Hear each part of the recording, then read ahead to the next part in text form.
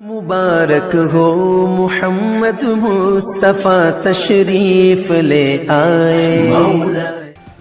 मारूफ, रूहानी और बुज़ुर्ग शख्सियत हज़रत मौलाना मोहम्मद रहमतुल्लाह के दूसरे सालाना उर्स की दो रोज़ा तकरीबा अख्ताम पजीर हो गई। अकीदतमंदों और मुरीदेन की कसर तादाद में शिरकत, मरूफ, बुज़ुर्ग और रूहानी शख्सियत हज़रत मौलाना मोहम्मद रहमतुल्लाह के उर्स की दो रोज़ा तकरीबा का आगाज़ आस्ताना आलिया मोहम्मदी शरीफ में सजादन शीन साहबजादा मोहम्मद कमरुल हक ने दरबार आलिया पर कुरान खानी खसूसी दुआ से किया। उर्स मुबारक की पहली नशिस्त में महफिल मिलाद मुस्तफ़ा का खसूसी तौर पर इंतज़ाम किया गया जिसमें नात ख्वा हजरात ने हज़रत मोहम्मद मुस्तफ़ा वसल्लम के हजूर हदिया अकीदत पेश किया उसकी दूसरी और अख्तामी रूह परवर तकरीब दरबार आलिया के अहाता में मुनद हुई जिसमें दूर दराज से आए मुरीदीन और ज़ायरीन ने सैकड़ों की तादाद में शिरकत की मरकजी तकरीब का बाकायदा आगाज़ कलाम पाक से किया गया नात शरीफ के बाद चादर चीन साहबजादा मोहम्मद कमरुल हक सियालवी ने मुख्तसर खिताब में ओलिया कराम की शान और दर्जात पर रोशनी डाली, जिसके बाद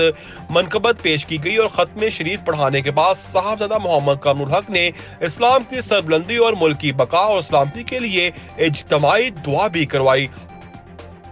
मुबारक हो मोहम्मद मुस्तफ़ा तशरीफ़ ले आए।